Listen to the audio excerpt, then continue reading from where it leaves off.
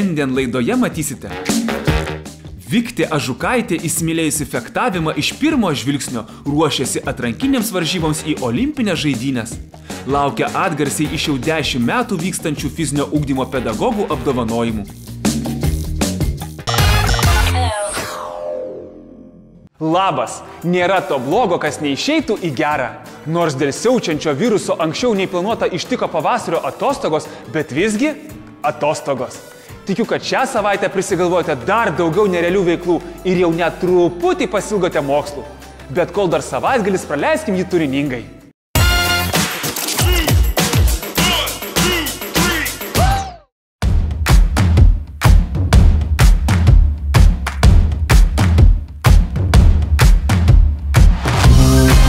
Ar prisimeni, kada tavo gyvenime atsirado sportas ir ar tai iš karto jau supratai, kad bus profesionalus dalykas? Sportas tai pas mane atsirado nuo pat mažens, kadangi mama pati yra trenerė, tai kaip ir manęs nebuvo kur padėti, tai aš nuo mažens buvau toj salėje, bet iš tikrųjų, jeigu atvirai, tai mane leido į šitą sportą vien tam, kad aš būčiau fiziškai stipresnė, nes buvau tokia apvalaina ir panašiai ir norėjau labai šokėja būti. Tai mama pagalvojo, kad nelabai čia aš kokia šokėja būsiu, štai leido į fektavimą, bet e, niekad negalvojo, kad aš būsiu profesionali, nes nei aš duomenų labai kokių turėjau, nei ką.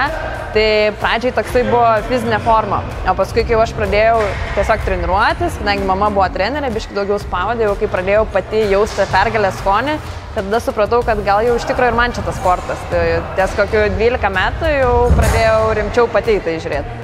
O kuo yra įdomus fektavimas?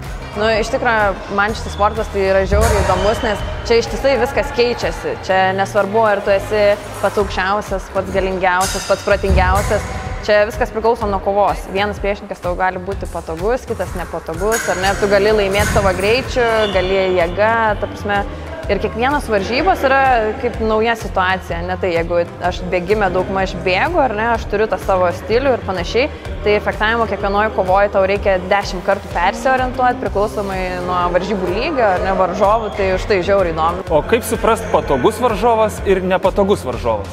E, kadangi pas mus, sakau, yra labai daug fektavimo stilių ir nėra vieno e, taisyklingo, kad va, tu fektuosi šitaip ir tu būsi jau pasaulio čempionas. Nes labai daug pas mus reikia, tu turi ir galvoti, bet ne per daug galvoti, ir judėti ant to takelio, bet ne per daug judėti. Ir vienas greitesnis, vienas, sakau, lėtesnis, tai tas patogus, nepatogus yra priklauso nuo to, kaip tu pats kovoji. Tarkim, man yra patogiau, kada mano priešininkai yra aktyvesni ir greitesni, negu tie, kurie e, yra lėtesni ir dar patys ant takelio nesuvokia, ką daro. Didžiausia pergalė.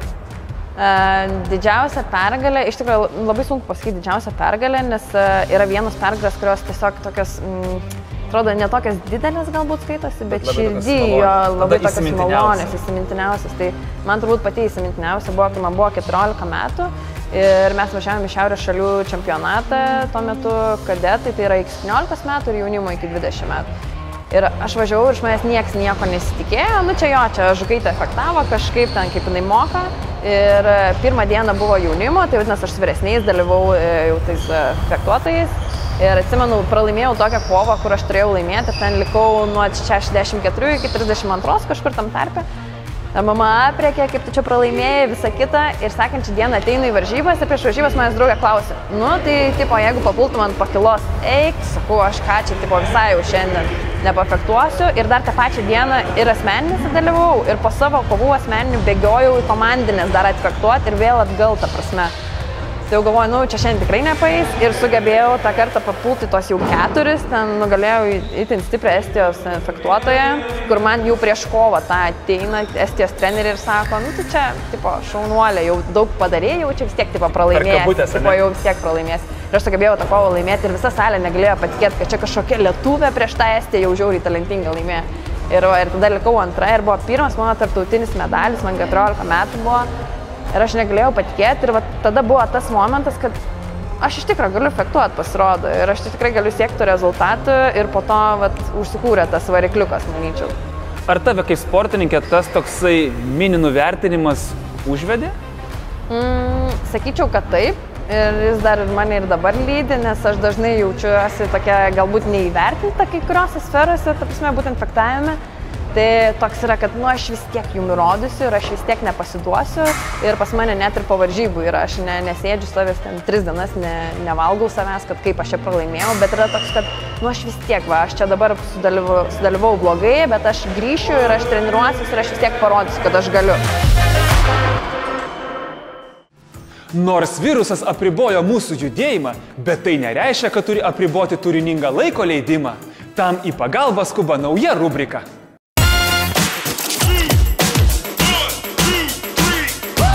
Sveiki, aš esu Tomas iš jaunimo asociacijos Patirk ir mes organizuojam vasarą ir ne tik vasarą stovyklas vaikams ir visokiausius tai žygius, keliones, kadangi karantino laikotarpis, tai galima padaryti kažko tai miške vienam, ne?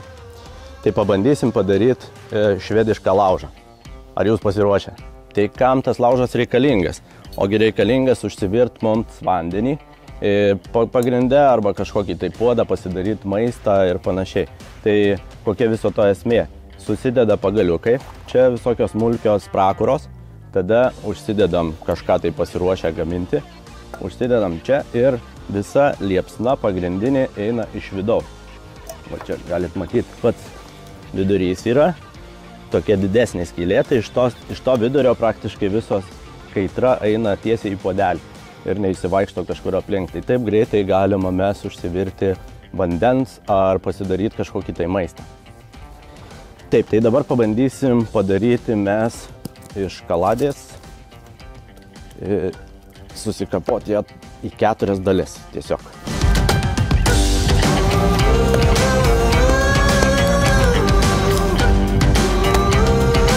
Taip, dabar visas mūsų dalis reiktų įdėti šiek tiek tai a, smulkių pagaliukų, kad atsirastų tarpai ir surišt tarpusavį. Surišam tam, kad neišsiskirtų, mūsų pagaliukai neišlakstytų ir e, didieji gabalai laikytųsi vienas prie kito. Mes pridėsim dabar visokiausių smulkių šakelių, smulkių pagaliukų, kas gerai dega.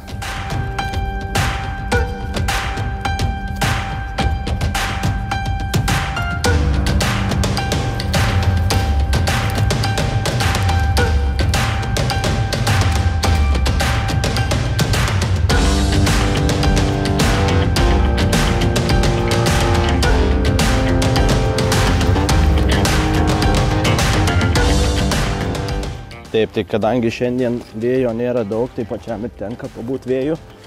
Tai gal šiek tiek ir sunkiau užkur, bet jau kaip ir įsidegę, galima iš tikrųjų užvirti ir vandens uždėti. Taigi noriu priminti dar, kad vieniems vaikams negalima kurti laužų, e, reikia tik su suaugusio priežiūra. Ir apskritai laužos kur tik tam skirtose vietose. Tai yra laužavietės ir laužavietės dar turi būti pažymėtos tokie ugnelės ženklų. Tai vad, ačiū ir iki susitikimo. Motivacija reikalinga ne tik sportininkams siekiantiems rezultatų, bet ir man, tau, mūsų operatoriui. Motivacijos anksčiau ar vėliau prireikia visiems be išimties. Ko gero būtent sportininkai yra tie žmonės, iš kurių geriausiai galima išmokti, kaip neprarasti tikėjimo savimi ir sėkme bet kurioje gyvenimo situacijoje.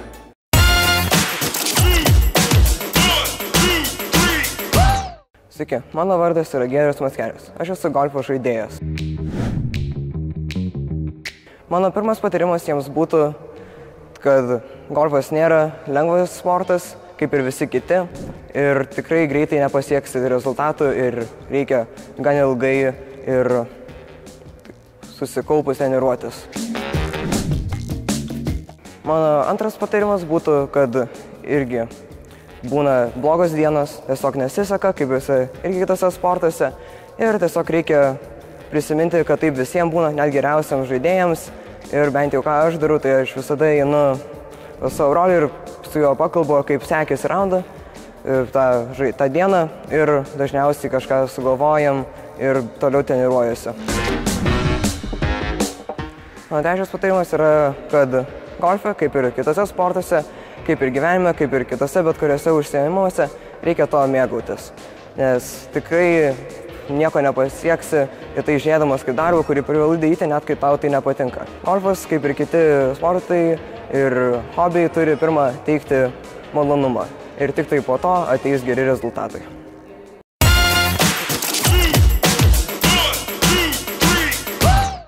Robertas Bobas Bymonas 1968 žaidynėse Meksike atliko kai ką įspūdingo. Tai buvo 8 metrų 90 cm šuolis į tolį, kuris daugiau nei 2 dešimtmečius buvo rekordinis. Nors 1991 šis šuolis buvo pagerinęs 500-osiomis, Bobo šuolis laikomas vienu iš penkių įspūdingiausių 20-ojo amžiaus sporto pasaulio akimirkų. Apie tai jūsų klausime šią savaitę Facebook'e. Ar teisingai atsakėte? Pasinaudodamas man suteiktą teisę skelbiu minutės pertraukėlę. Praveriam kambario langus, kad visi virusai išsivėdintų. Ir netrukus tęsim laidą. Po reklamos matysite. Jubiliejiniuose fizinio ugdymo pedagogų apdovanojimuose jaudinančios akimirkos pagerbent labiausiai to vertus specialistus, ugdančius sveikus, aktyvius ir laimingus vaikus.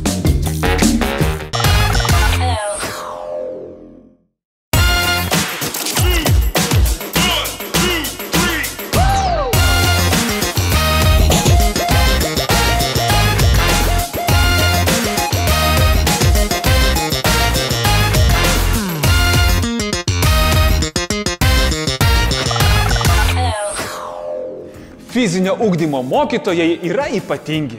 Jie pirmieji parodo kelią į fizinį aktyvumą, kuris gamina gyvybiškai svarbius hormonus - serotoniną ir dopaminą. Arba tiesiog laimės hormonus. Sveiki ir laimingi darželinukai bei moksleiviai, sveika ir laiminga šalies ateitis. Tris kart valio geriausiams fizinio ugdymo pedagogams.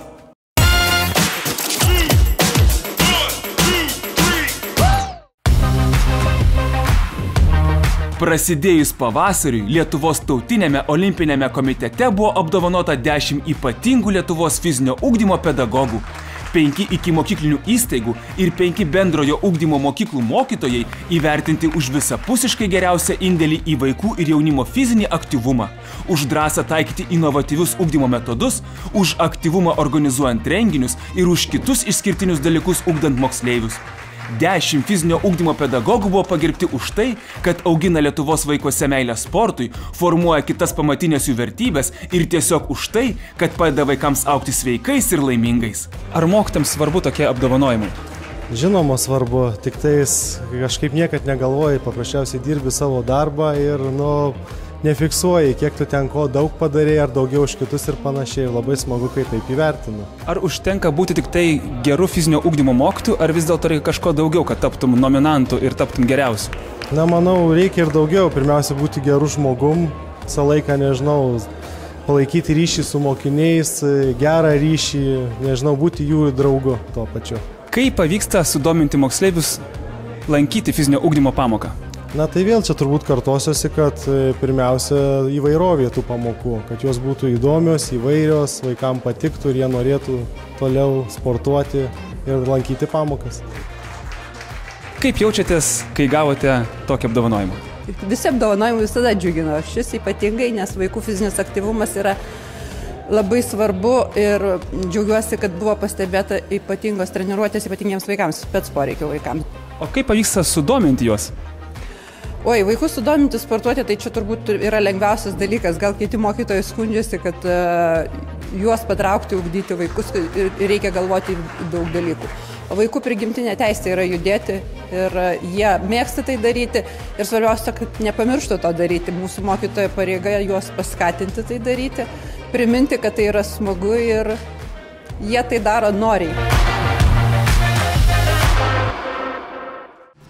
Štai toks gražus ir prasmingas renginys pažymėjo pavasario pradžią. O mes prateskim pažinti su Vikte, kuriai fektavimas ne tik sportas, bet gyvenimo būdas ir panašu ateitis.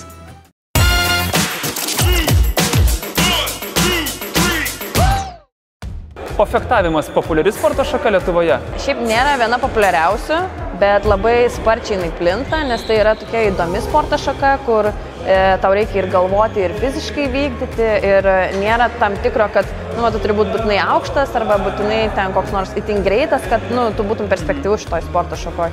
Tu su bet kokiam savo savybėm gali vis tiek laimėti. Tai labai itin populiarėja ir iš tikrųjų dabar jau, jeigu mano laikais vaikų varžybose Lietuvos tai čempionate būdavo apie 30 vaikų, tai jau šiais metais būna po 200 virš. O ar buvo sunku suderinti mokslus ir sportinę karjerą tuomet, kada buvai studentė? Mhm. Kai buvau studentė, tai turbūt nebuvo tiek sunku e, suderinti vien dėl to, kad aš buvau sportininkė. Tai labai, ypač mano sportas, fektavimas išūkdė labai greitą mąstymą, kad tu vietai turi sugalvoti atsakymus, ar ne, tu turi sugalvoti, kaip išsisukti iš įvairių situacijų.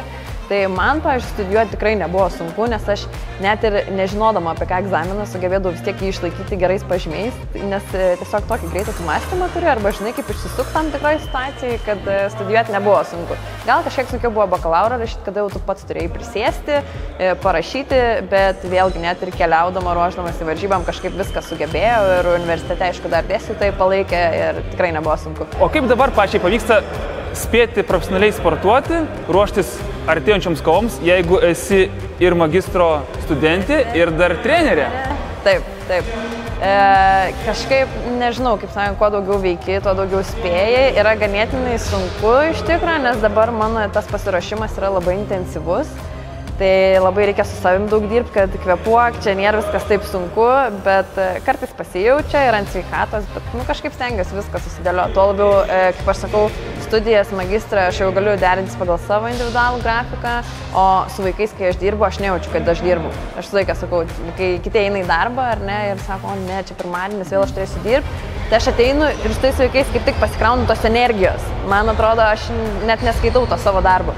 Tai kažkaip pavyksta viską suderinti ir paskui jau galiu pati treniruotis. Padirbu ir galiu pati treniruotis paskui.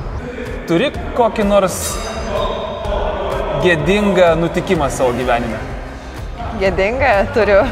o dabar mes to mesim iššūkį, ar tu jį priimsi? Apie jį papasakot. Gerai, galiu papasakoti. Papasakok. Aš irgi buvau, nežinau, turbūt tos pačios varžybos, kur aš pirmą kartą laimėjau medalį. Tai jų metu didžiulė salė Latvijoje varžybos vyksta sakau, man metų 14 gal. Ir aš kažkaip tuščia, visi laukia, kol paskelbs rezultatus. Ir nežinau, kodėl aš bėgau kažkur per vidurį salės ir ten buvo stendai pastatyti tie tokie, nu, iki kelių.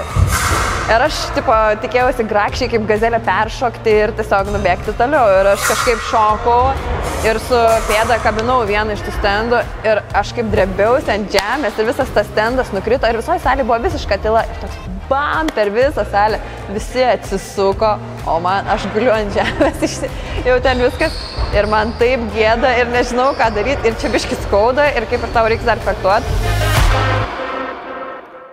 Bičiuliai, turiu progą priminti, kad Lietuva, kaip ir visas pasaulis, saugos nuo ištikusios negandos koronaviruso protrukio.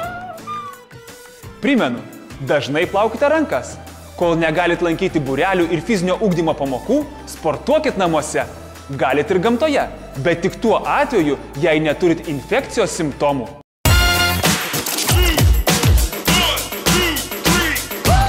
Sveiki, aš esu Gilija Bernatinė, kinesterapeutė ir jogos mokytoja ir su manim mano vyras Juozas Bernatas, olimpietis. Šiandien mes jums e, parodysime pratimų, kuriuos galite daryti namie. Ypatingai karantino laikotarpiu yra puikus laikas judėti, gaila, bet namų sąlygom, bet pamokysim tokius pratimus, kurie bus naudingi ir pasitarnaus vėliau. Pradėsime nuo pagrindo, tai yra jūsų pėdos. Mes net nepagalvojame, kad pėdų pratimai iš tikrųjų tokie svarbus, o jų darimas gali atnešti naudos ne tik pačioms jūsų pėdoms, bet ir jūsų laikysenai, jūsų sanariams, kelių, klubų ir jūsų nugarai. Taip pat, jeigu skauda kaklą, pėdų pratimai gali nuo to padėti. Taigi pradėsime nuo pačių paprasčiausių.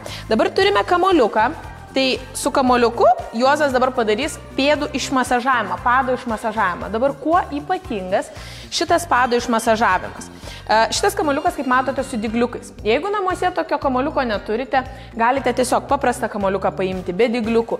Iš esmės, jūsų pado fascijai labai naudingas išmasažavimas.